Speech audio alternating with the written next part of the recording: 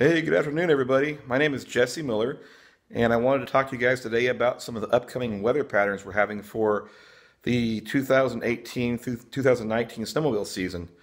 Uh, yesterday, we went to a place called uh, Bear Paw, and we tried to check out the, the roads there. They were in kind of rough condition, so we had a team of probably about uh, 10 or 15 people trying to uh, fix the roads out there. We did some brush clearing and a whole bunch of other things.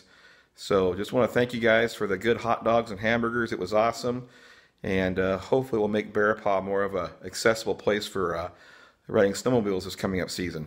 Anyway, um, right now they're saying there's probably a 70% chance of an El Nino winter, which for us here in the Pacific Northwest means probably warmer and uh, drier weather, unfortunately. So that's kind of a sad thing for those of us who love the snowmobile, snow ski, and snowboard.